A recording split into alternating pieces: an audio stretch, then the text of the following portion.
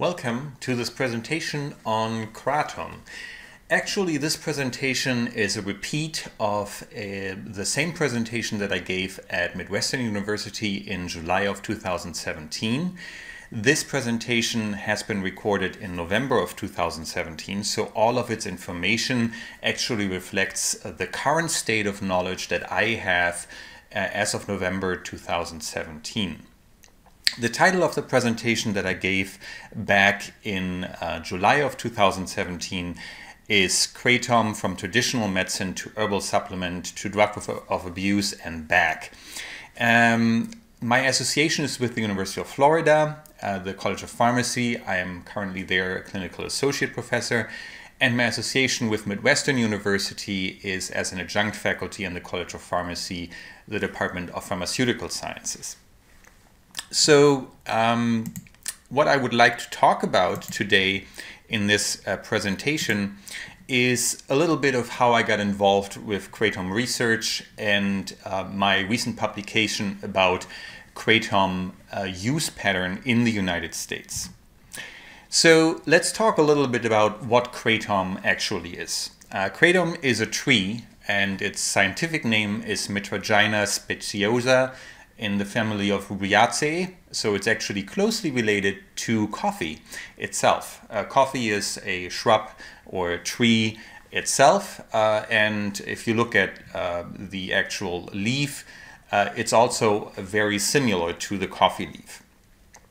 Uh, kratom grows uh, naturally uh, to Southeast Asia. Uh, it's a subtropical and tropical tree that uh, grows in Malaysia and Thailand and other areas of uh, Southeast Asia. Uh, kratom is also the drug that is derived from the leaves of the tree.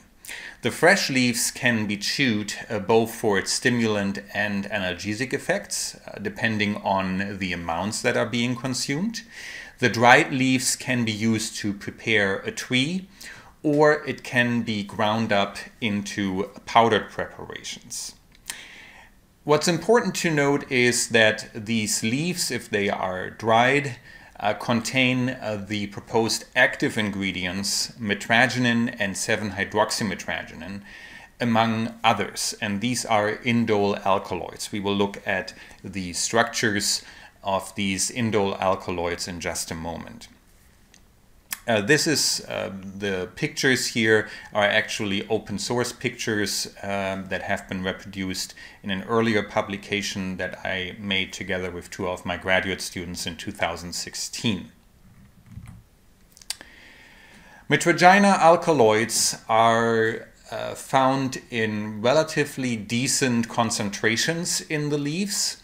Uh, is currently the main alkaloid that is being explored for its activity as a partial agonist at the mu opioid receptors uh, with relatively low potency compared to morphine. Uh, so it depends both on the route of administration as well as uh, the actual potency comparison uh, to the opioid. It also acts as a competitive antagonist at the kappa opioid receptor and shows uh, actually almost no binding affinity for the delta opioid receptor. And this is the structure of mitragynine itself. Uh, this is the indole structure here. And then uh, you have a side chain uh, that classifies it as an indole alkaloid. 7-hydroxymitragynine uh, presents with much higher potency and the only differentiating factor here is actually the presence of this hydroxy here um, that differentiates it from mitragynine, uh, its, um, its parent structure. It acts as a partial agonist at mu-opioid receptors in a similar manner to mitragynine, but with much higher potency, meaning that much lower concentrations are needed in order to produce the same effect. But it also acts as a competitive antagonist at the kappa opioid receptor and also shows affinity at the delta opioid receptors uh, but here with weaker affinity uh, versus um, the kappa opioid receptors. So we see a little bit of a difference between mitragynine and 7-hydroxymitragynine. Uh, there are a number of additional indole alkaloids, uh, paynantheine, speciogynine, and speciociliatine that are present uh, among others. And as of yet, we haven't as well explored these other alkaloids in uh, kratom extracts, but they are present in much lower concentrations though. Uh, so currently uh, the research is mainly focusing on mitragynine and 7-hydroxymitragynine within kratom. How do these two compounds mainly act on opioid receptors? And this obviously goes very much into detail already uh, in regards to the pharmacology. Uh, it has been shown that mitragynine acts and 7-hydroxymitragynine alike uh, act different from the classical opioids on the opioid receptors.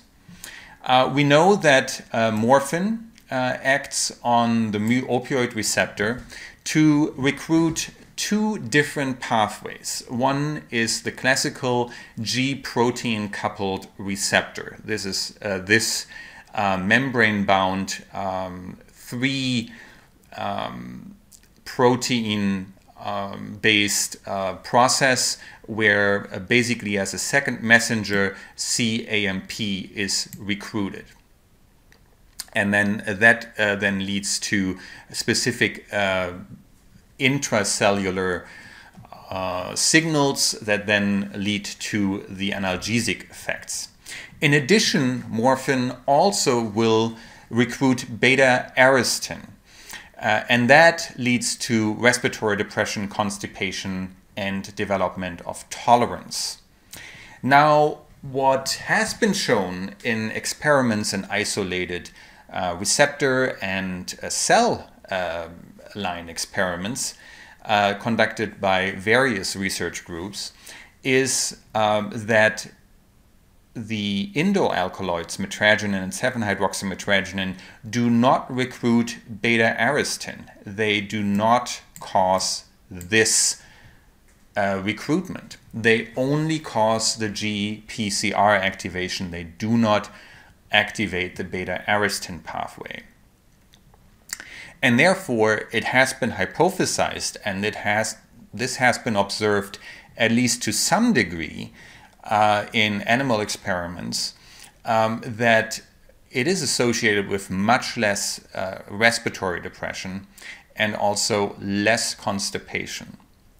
But the both of the indole alkaloids and potentially other ingredients in kratom as well, in the kratom extracts, act on another line of receptors other than the opioid receptors such as the alpha 2 adrenergic receptors, the adenosine uh, A2A receptors, the dopamine D2 receptors, the serotonin receptors, and this might in part explain some of the stimulant effects uh, that we observe at lower doses of kratom use. So at higher doses, the opioid effects may actually uh, prevail, uh, whereas at lower doses, uh, we might see more of the stimulant effects at the alpha adrenergic uh, or the serotonin and dopamine receptors. This has not been proven yet entirely, uh, but this might explain some of the differential pharmacological effects linked to the alkaloids found in kratom extracts.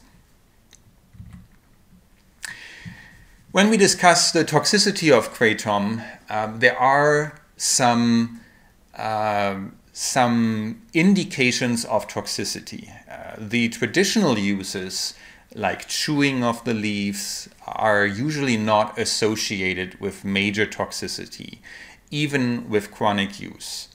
So, uh, since kratom extracts are mainly used for oral consumption for hard labor, um, usually then before somebody goes to conduct hard labor. Um, they are used for the stimulant effects to maintain uh, basically uh, the stamina to conduct uh, the hard labor throughout the day. Uh, the treatment of acute pain and diarrhea with tea preparations of the dried leaves may require a higher dose, usually in the evening, than also for a potential sedative effect mediated through opioid receptors. Also, with traditional uses, there has been really no observation of dependence or misuse or abuse if the doses are maintained at a steady level, which is usually the case. Uh, the use of kratom in opioid withdrawal has been first observed and uh, reported in the 1950s, 1960s, 1970s, mainly in Thailand and Malaysia, where heroin was really epidemically occurring. Uh, and this was mainly an issue because uh, people were trying to mitigate withdrawal symptoms from heroin use in Southeast Asia. Um, and it is still widely practiced there to use kratom as a self treatment uh, for uh, the withdrawal symptoms, even though it has been scheduled there. It has been uh, placed into schedule into a prohibited schedule in, in, in Thailand and in Malaysia.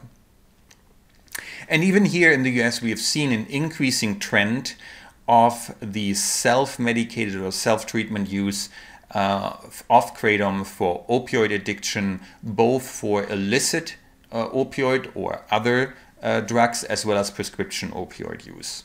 Um, sometimes for mitigation of withdrawal symptoms, um, as well as for completely tapering off the use of opioids.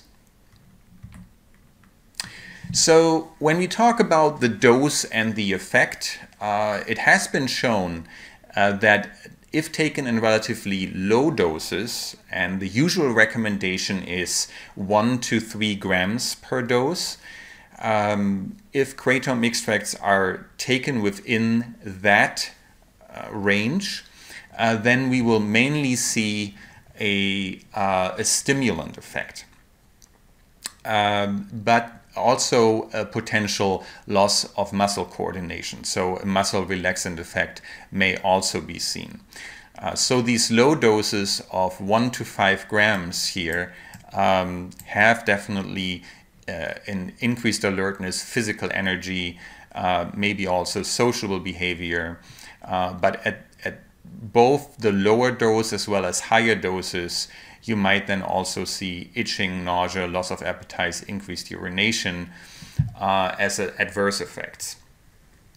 Doses above 5 gram and especially above 8 gram um, have been shown in the past uh, to uh, also have a stimulant effect of tachycardia, so a higher heart rate.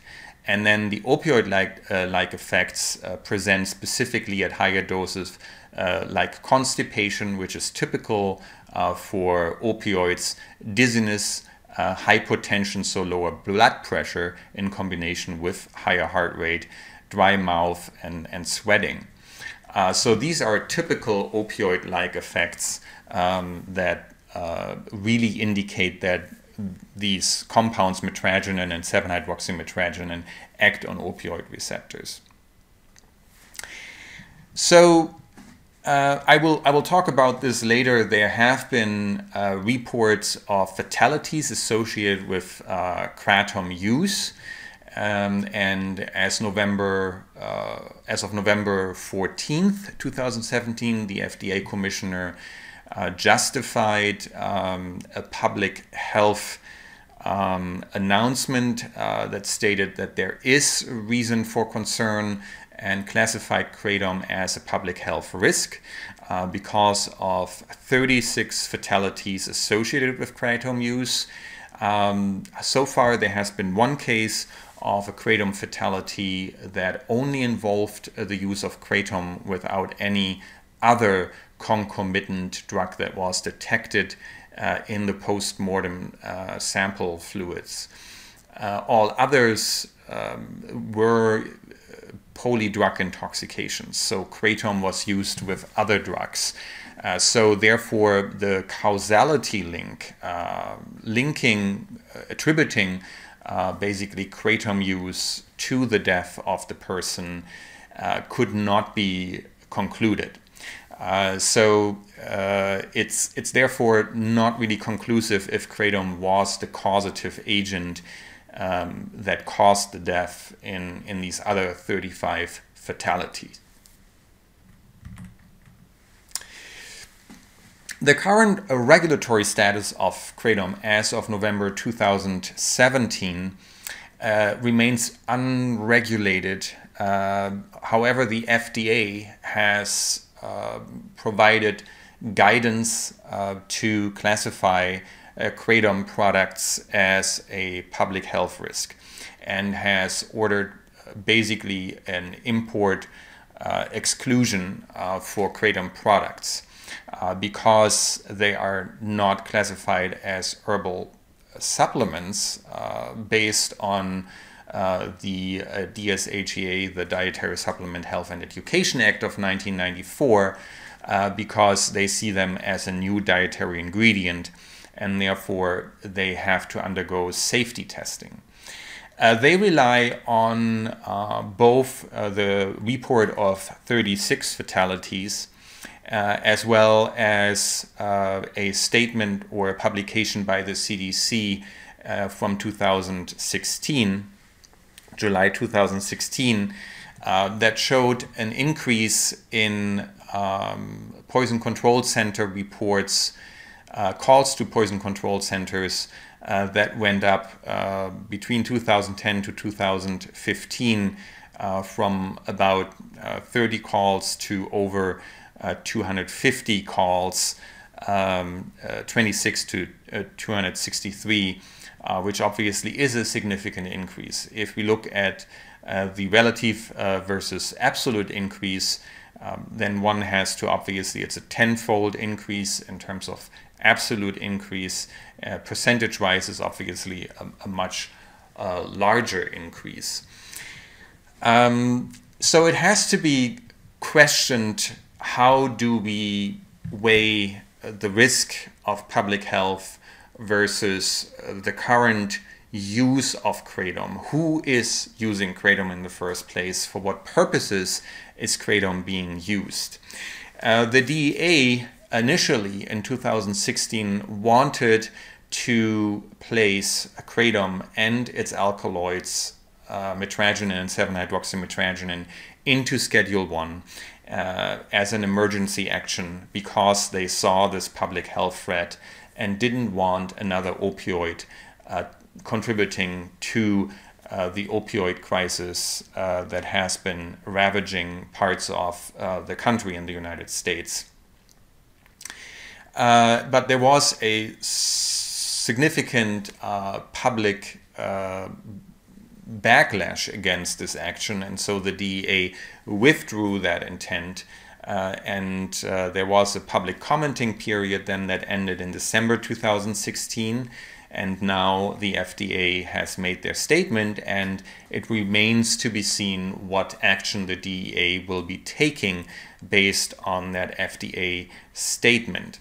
Uh, once again, all of this information is current as of November 2017.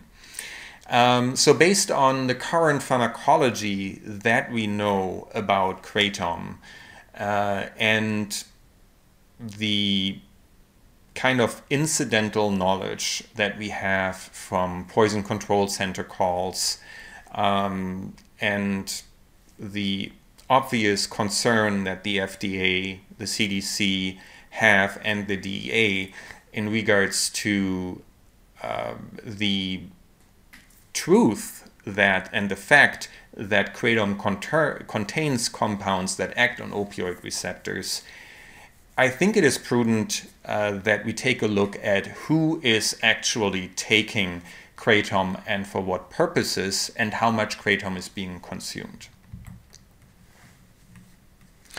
In terms of uh, scheduling, uh, this is the current picture that we have, and this was taken from a website uh, that was kind of monitoring uh, these uh, uh, this, the, the current regulatory status on a state by state level. So green means kratom is legal without any restrictions.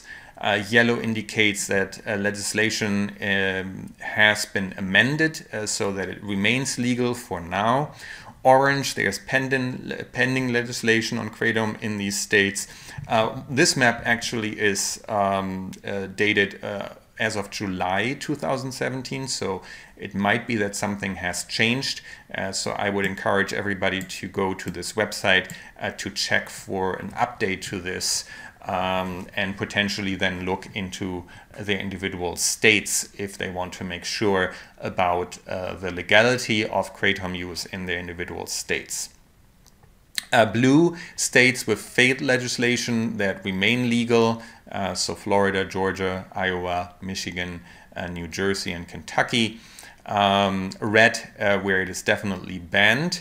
Uh, and these are six states, uh, seven, six states actually as of right now.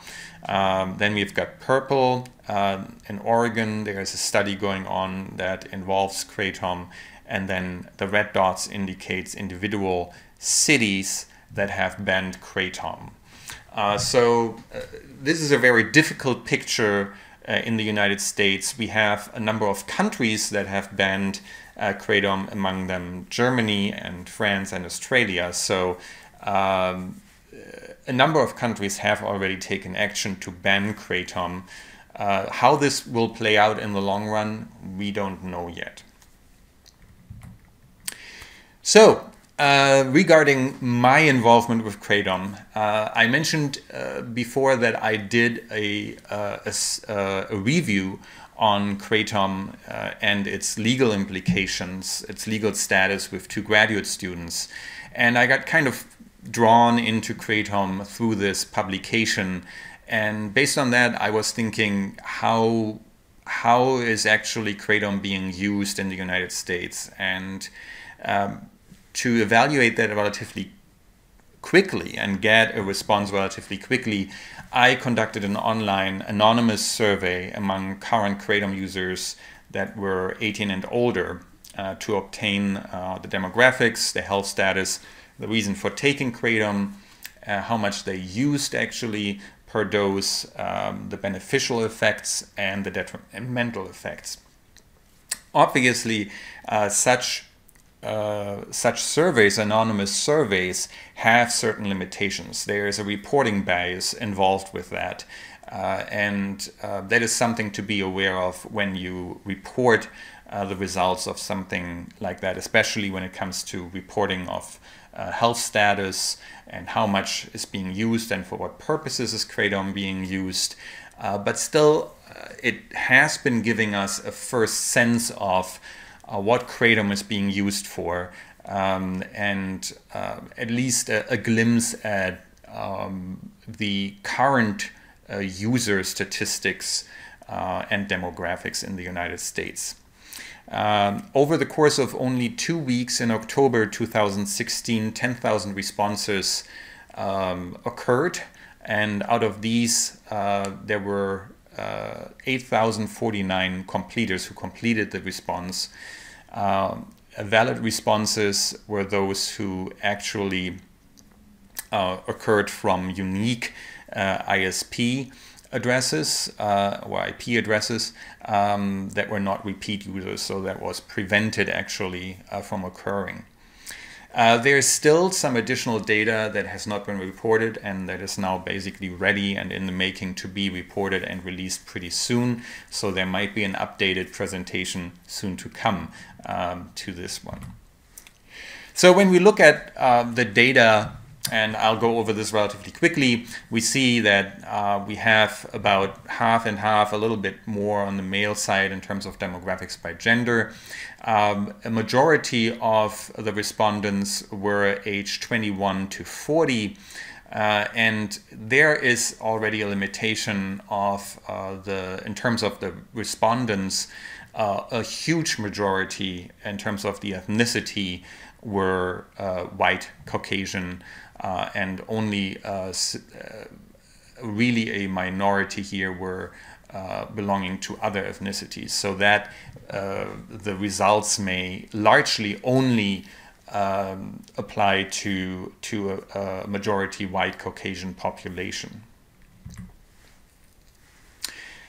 Uh, in terms of um, uh, marital status, a majority were uh, married or partnered. Um, about a third were single or never married. Employment status, we had over half that were employed for wages. 15% um, were self-employed, uh, and then the rest were kind of uh, a little bit uh, divided by homemaker, student, retired, unable to work, um, and then out of work for less than one year, out of work for one year or more. When we look at the level of education, um, a large majority had at least some college, bachelor's degree, or an advanced degree. Uh, so if we add that up, we at uh, definitely more than uh, three quarters of our overall pop population uh, response. Um, and uh, only a fraction had a high school degree or less. Uh, insurance coverage was an interesting breakdown. Um, uh, about half of them had insurance through their employer. Uh, self-insurance were 14%, and then uh, no insurance was also 14%. Um, so uh, this would be a kind of um, unique uh, picture for a developed country. Uh, most of the European countries would probably have a different breakdown. Uh, but uh, here in the United States, uh, this is about what you would expect. Um, household income, that was an interesting response as well, especially when we look later at the responses for Kratom use uh, you see that uh, about more than half of the respondents had households household incomes uh, of um, at least uh, 35,000 or more. Uh, even 50,000 and more was still, uh, if you add that up, um, almost half of the respondents. So that was an interesting result uh, in regards to the breakdown of the income levels.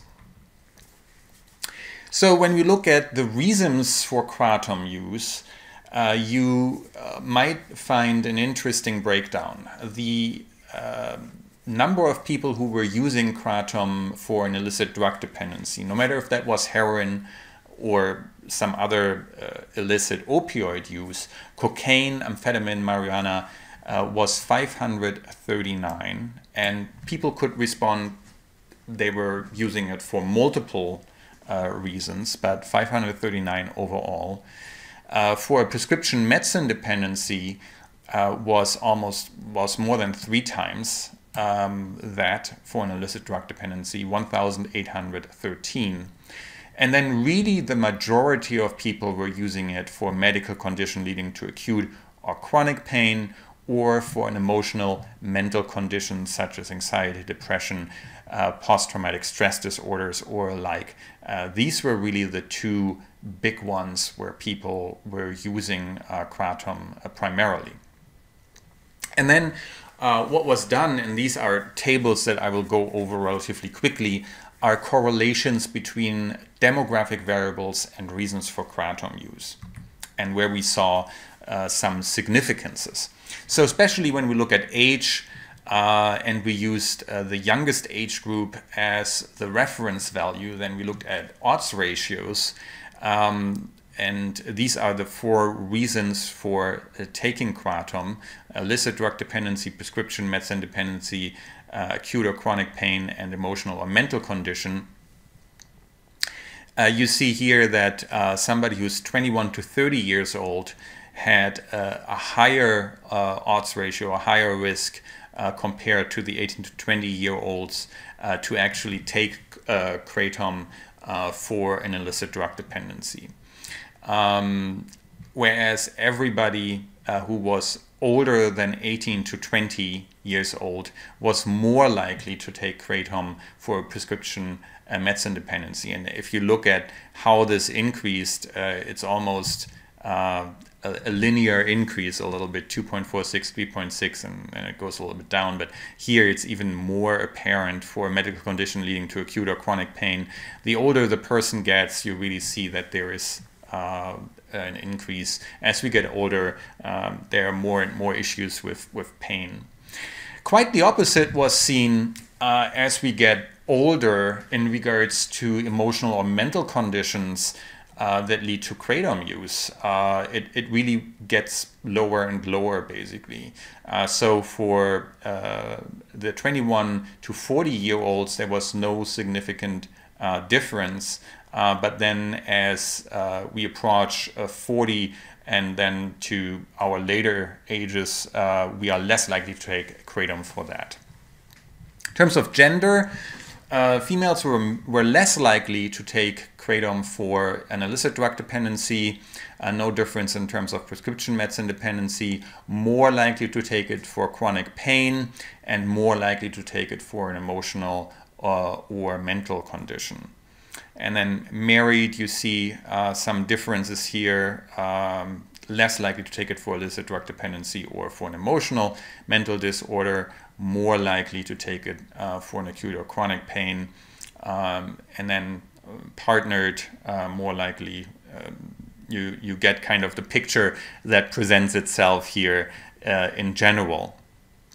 Uh, sometimes it is a little bit um, wide wider spread because of smaller sample sizes. You, you, see here widowed uh, 86 uh, in terms of the sample size. So uh, then you get very wide um, uh, confidence intervals, and that obviously is less likely to result in significances um, when the variability is so high. Uh, sorry, it's a little bit uh, small here, but when we go further down, uh, as you can see here, for race, we have uh, this huge, so that makes it hard to interpret this huge number of uh, Caucasian responses, so that makes it hard. Um, the best one to rely on is probably from the Hispanic population, and you see the only one uh, where we see a significantly lower use compared to the Caucasian um, uh, population is for an emotional and mental condition. Uh, uh, so that might be actually a true uh, difference. Whereas for all of the others, I would be very careful with the interpretation because of the low number of responses that we received here.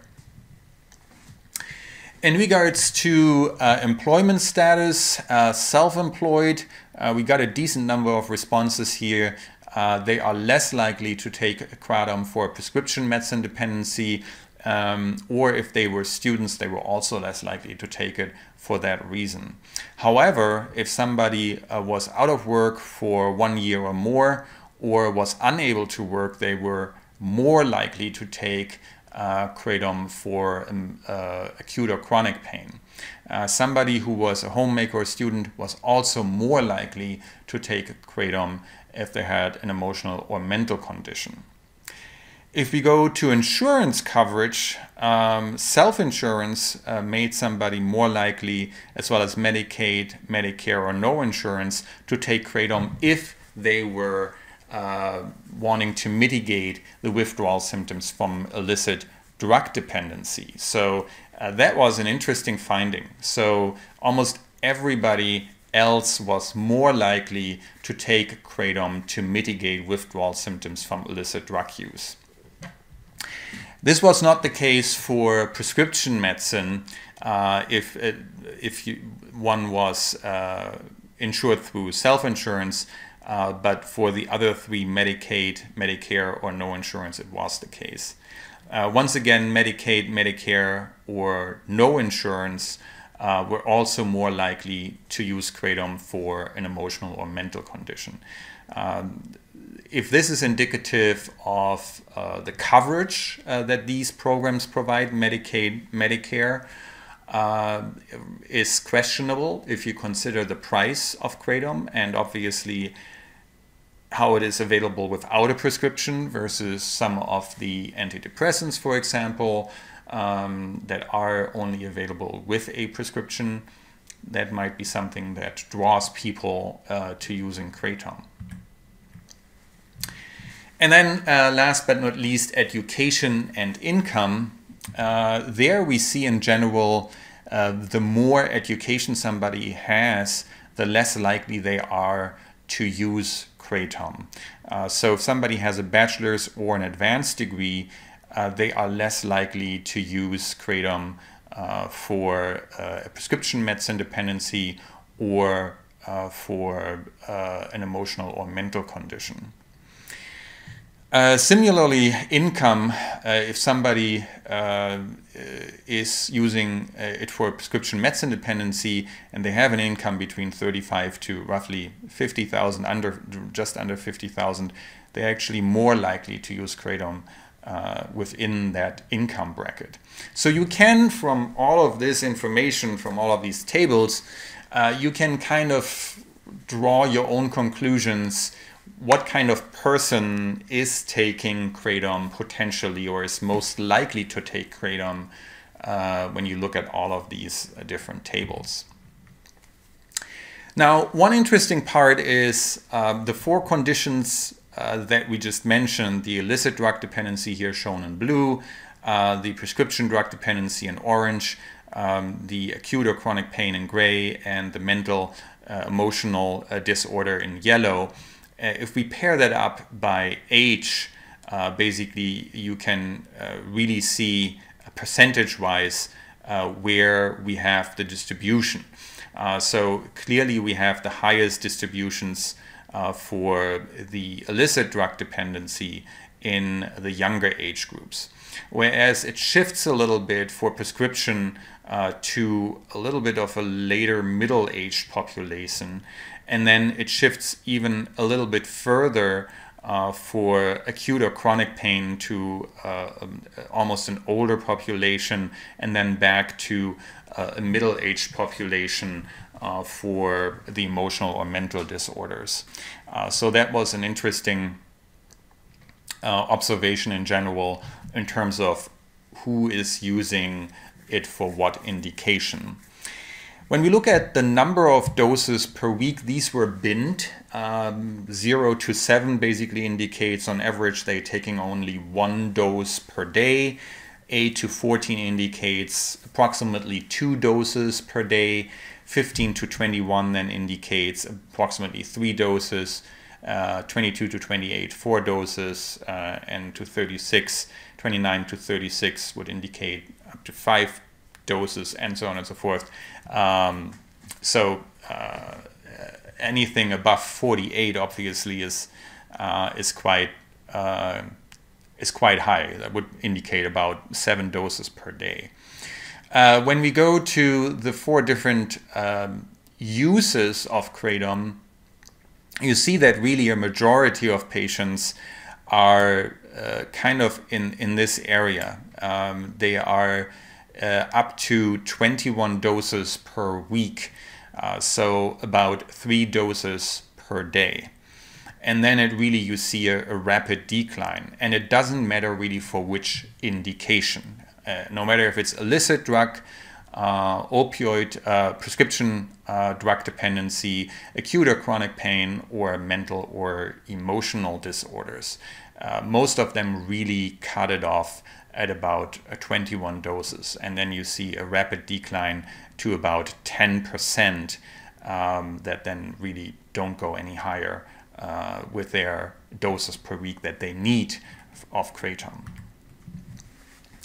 When we look at uh, the perceived benefits and amount per dose, uh, here we bind it again to less than one gram that is used of the powdered extract. And obviously, uh, what we need to be aware of here, the powdered extracts are not standardized. So we don't know how much uh, of the mitragynine and 7-hydroxymitragynine and the other indole alkaloids or potentially other active compounds are present in these uh, kratom extracts that are available. So that is a significant concern that the FDA uh, rightly uh, voices that there is simply no quality involved in the available kratom extracts that are entering the market.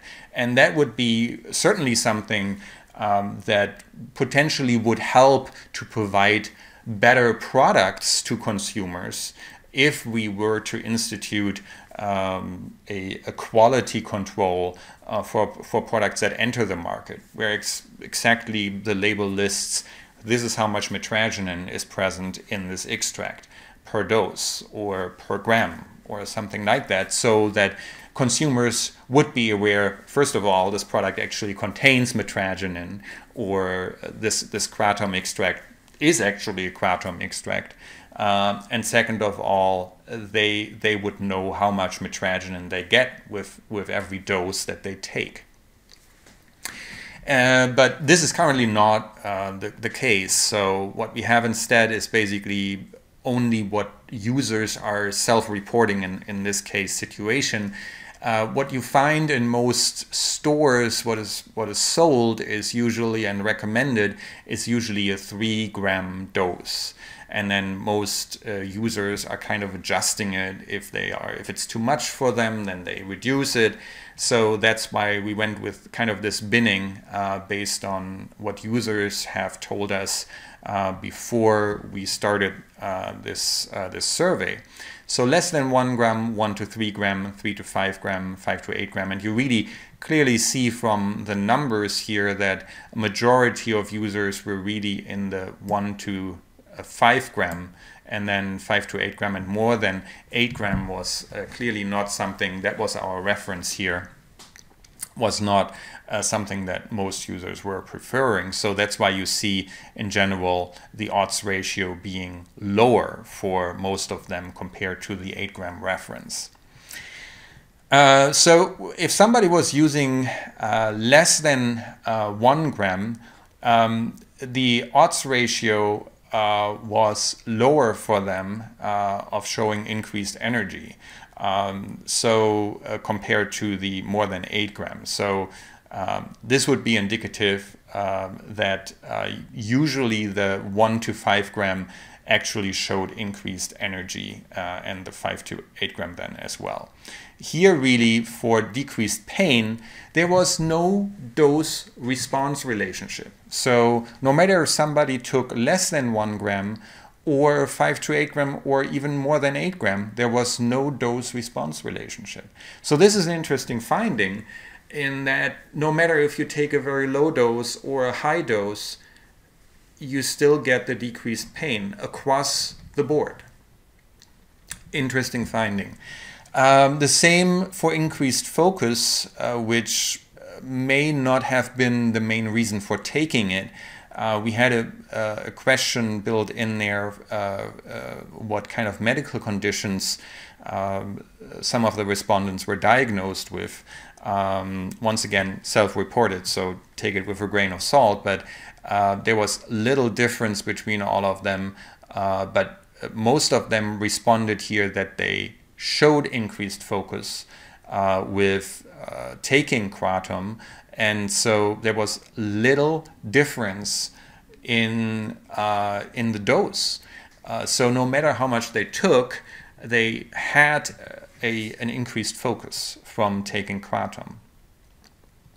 Less depressive mood, there we saw a dose response relationship. So with lower doses, uh, there was no improvement in depressive mood, whereas if somebody took three to five grams or higher, so three grams or higher, they had uh, less depressive mood, so their mood improved. The same was true for a less anxious mood or anxiety improvement in anxiety disorders. They had to take at least one gram or more in order to see an improvement uh, in their uh, anxious mood. Uh, reduced or stopped the use of opioid painkillers. Now, this was interesting uh, because here uh, we see that uh, there was uh, definitely a, a, relatively high amount that had to be taken in order to reduce or stop the use of opioid painkillers. And that had to be a relatively high amount of, um, of kratom, uh, 5 to 8 grams at least. Uh, reduced PTSD symptoms, um, 1,300 responded in the affirmative that they used kratom or benefited from it in that way. But once again, absolutely no difference in terms of the dose response uh, curve uh, here. So no matter what dose was used. Elevated mood in general. So this was just uh, not really related to depressive disorders or uh, anxious disorders, but in general, an elevated mood, uh, not with an underlying um, mood disorder, uh, and really uh, a large amount of people responded to that. But uh, they noticed that you needed, on average, at least three grams in order to get there, to get to that elevated mood. And others um, were basically not really well interpreted uh, because there was no difference less than one gram and then uh, that was not very well interpreted. So you see for some of them clearly a dose response relationship. You need a certain amount of kratom in order to get to that effect. For others, absolutely not. Uh, so very interesting in terms of how to interpret it. Now, doses per week. How many doses does one need to take in order to get to these benefits? and uh, 1 to 7 was pretty much throughout uh, for the same uh, benefits, um, kind of the threshold. So one needs to take, on average, two doses at least in order to get these benefits. Uh, and uh, even if uh, you have 2,600 folks out of the total um, that only took, on average, one dose per day, um, a majority still had to take at least two doses per day in order to get there. Uh, and for elevated mood, uh, one had to take about three doses. But other than that, um, this was kind of where uh, where folks had to take at least uh, two doses per day in order to get the benefits. When we look at adverse effects, we first ask the question did you even experience any adverse effect uh, from kratom use? And uh, overall, only 20.93% of kratom users actually experienced any adverse effect. And these adverse effects were mainly related to gastrointestinal um, side effects.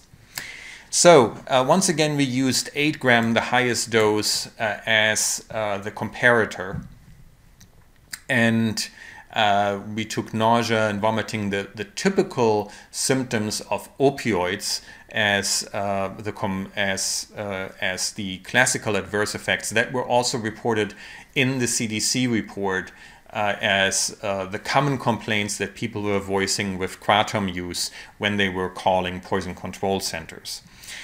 Uh, so here you see in general that the odds ratios of having these adverse effects were always significantly lower uh, compared to the 8 uh, gram reference dose. Uh, so one needs to take a significantly higher dose in order to even experience nausea. Same is true for vomiting. Uh, with diarrhea, it's a little bit different. Uh, and diarrhea obviously is not a classical symptom of an opioid. Uh, so that was not necessarily expected uh, to see a dose response relationship. Interestingly enough, between 1 to 3 grams, um, actually the risk of diarrhea was significantly reduced. Um, so you would expect usually uh, that diarrhea would be reduced uh, because opioids usually cause constipation. Rapid heartbeat, tachycardia heart palpitations significantly lower. And if you look here at the number of people who actually experience that, uh, you can tell, uh, same for diarrhea, uh, that that is uh, not very common, commonly occurring. Uh, whereas vomiting and nausea were definitely uh, more commonly reported as an adverse effect. Shortness of breath, once again, um, very, very uh, low in terms of reporting. Constipation uh, was one that was much more commonly reported, but once again, it, took a significantly higher amount to get to that adverse effect. uh, and the odds ratio was uh, for all of the lower doses um, uh, significantly lower compared to the 8 gram dose. Same was done for uh, depending on how many doses per week were used. And uh, here it was not as um, as significant. So uh, for nausea, it didn't really depend on how many doses per week were taken, um, except for uh, 8 to 14 that were significantly lower. And then you see here uh, some that were um, outrageously high. You see here 33.53, um, but that was not uh, significant.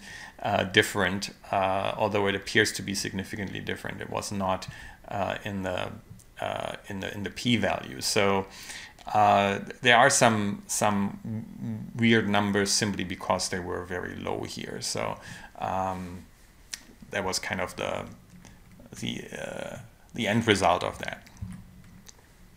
Additional adverse effects.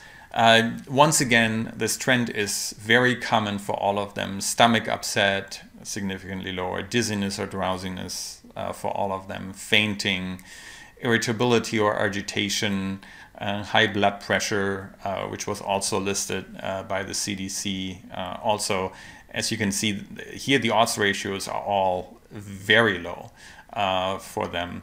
And others then, um, which uh, were not further specified, um, you only see a dose of 1 to 3 gram significantly lower.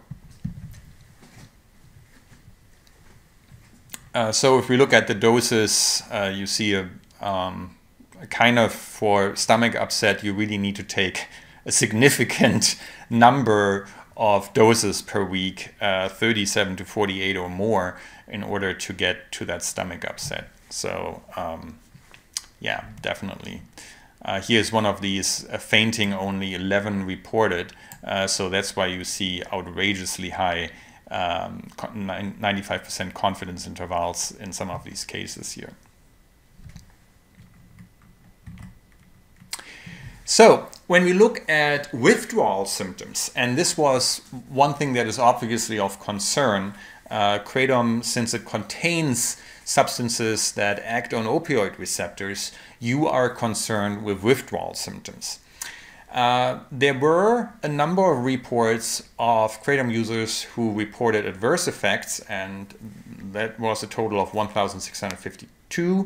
And they were then also asked about occurrence of withdrawal symptoms and the severity of these withdrawal symptoms. And the negative effects of kratom was not consumed within a certain time period.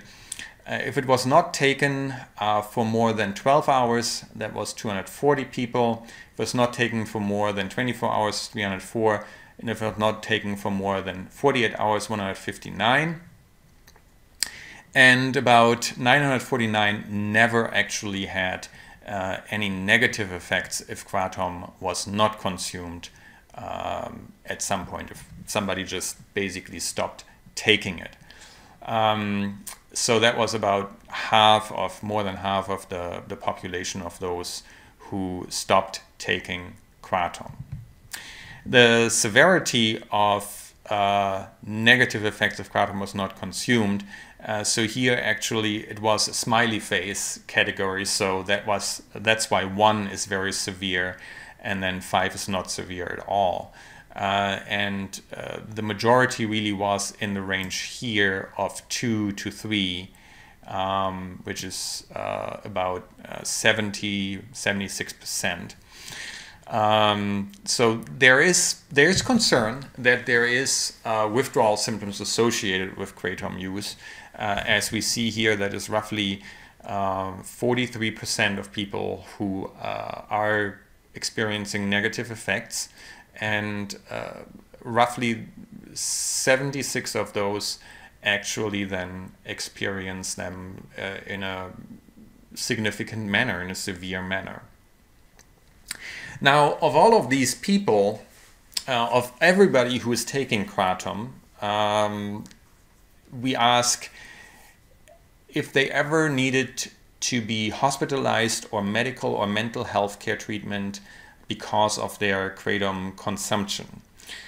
and 21 mentioned that they needed mental health issues uh, related uh, to uh, that they experienced mental health issues related to kratom and that they uh, or, that they needed medical or physical health issues related to kratom uh, so that is um, and the rest reported uh, no 7842 uh, so the overall incidence uh, is 0.65% uh, and 99.35% reported uh, that they did not need healthcare treatment uh, for kratom consumption related to their kratom consumption. this is out of a sample of 8,049. realize that this is compared obviously to larger studies once again uh, a small sample. It's self-reported.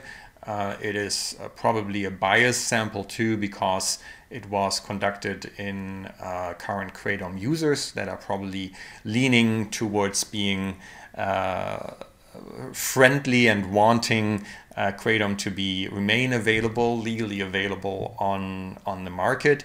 but I still think that um, it is a fairly representative sample um, considering that uh, we get data that shows adverse effect reporting uh, in uh, in this sample uh, that is uh, representative of many of the adverse effects that one would expect to see in opioids as well. So to draw a few conclusions, um, kratom contains the indole alkaloids mitragynine and 7-hydroxymitragynine, uh, and those act as partial agonists at the mu opioid receptors without recruiting actually the beta arrestin pathway. And therefore, they have been shown to cause less respiratory depression and constipation, and potentially also have a lower tendency uh, to cause uh, dependency or addiction. So, therefore, just alone looking at mitragynine and 7-hydroxymitragynine would be worth uh, in the development of novel central opioid analgesics. Uh, obviously, they have to somehow get to the central nervous system. Um, we don't necessarily know all that much about their bioavailability. It looks like uh, in some studies, animal experiments, they have shown some degree of bioavailability in the range of 30 to 40 percent. Uh, there might be some influence with uh, subenzyme first pass metabolism in the liver that needs to be addressed. Uh, but uh, mitragynine and 7-hydroxymitragynine may show a promise at least uh, as new drug lead structures in the development of, uh, of opioid analgesics with less adverse effects. Uh, kratom use in the US is uh, for diverse reasons. And if uh, we can rely on what the American Kratom Association says, and that is obviously a conservative estimate based on their membership numbers, uh, we might have as many as four to five million uh, current Kratom users. That's based on their membership numbers. It might be less than that, um, most likely is less than that, uh, but that is a significant number of users that we need to consider in whatever uh, our legislative steps will be in the future. Uh, because whatever we legislate about will affect uh, those users. So something to keep in mind. The majority use it for the analgesic effects for acute or chronic pain and for mood disorders. Um, there is a potential dose benefit effect relationship um, that I have illustrated uh, for increased energy, for reduction in opioid use, although that tends to be at higher uh, doses and concentrations, and also for mood disorders. Uh, although there has not been a relationship between dose uh, and effect for decreased pain and increased focus. So that is an interesting finding in regards to uh, both the mitragynine dose and the effects of mitragynine uh, on the opioid receptors. There might be, and, and clearly we have seen that in, in the survey, a potential dose adverse effect relationship for the gastrointestinal and CNS effects. Most uh, presented with lower odds ratios for doses uh, below 5 gram and sometimes even below 8 grams. So somebody needs to take significantly higher amounts of kratom uh, based on uh, the results of this survey in order to actually get uh, to uh, experience these adverse effects. The younger age group tends to take kratom for illicit drug withdrawal, but there is really no difference in the doses per week for reasons for kratom uh, consumption. Most of them really uh, kind of cut it off uh, around uh, 21 doses per week or on average three doses per day.